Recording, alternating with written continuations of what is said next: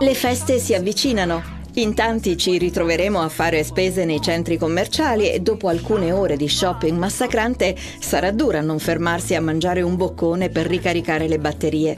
Self-service e tavole calde sono sicuramente comodi, prendi al volo qualcosa e continui a girare per negozi, ma senza una chiara strategia in mente, queste soste possono essere un disastro per chi sta attento alla dieta. In genere quando ci si siede a un tavolo si è affamati, stanchi e stressati, una condizione che può renderci più deboli di fronte alla tentazione di cibi consolatori pieni di calorie. Spesso ci autoconvinciamo di meritarci qualcosa di speciale per avere macinato chilometri da un negozio all'altro.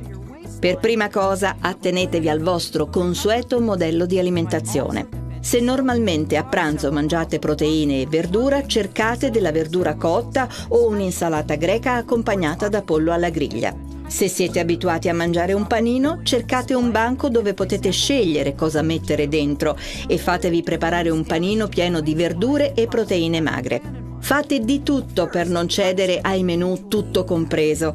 C'è sempre qualche piatto di troppo e l'immancabile bibita ipercalorica. Può essere conveniente per il portafoglio, ma non per il corpo, che finisce per ricevere molti più grassi e zuccheri di quelli preventivati.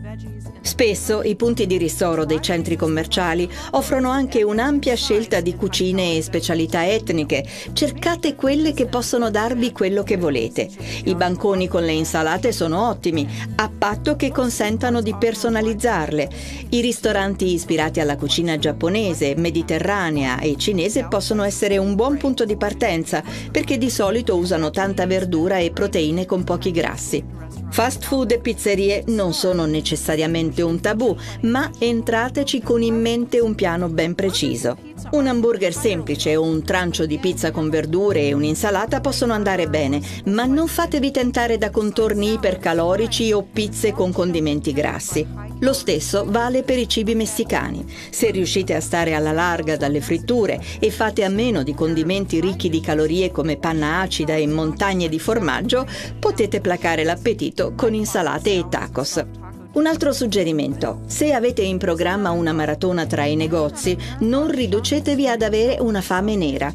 Fare shopping non è esattamente un evento sportivo, ma se vi aspetta una giornata di shopping intenso, portate con voi un piccolo spuntino per bloccare la fame sul nascere e non rimanere a secco di carburante. Una barretta alle proteine o un frutto possono rifocillarvi durante i vostri giri e probabilmente, quando arriverà il momento del pranzo, avrete la mente più lucida per fare scelte oculate.